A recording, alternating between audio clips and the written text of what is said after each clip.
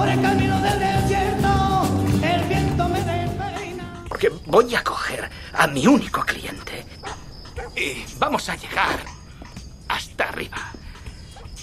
Porque he vuelto.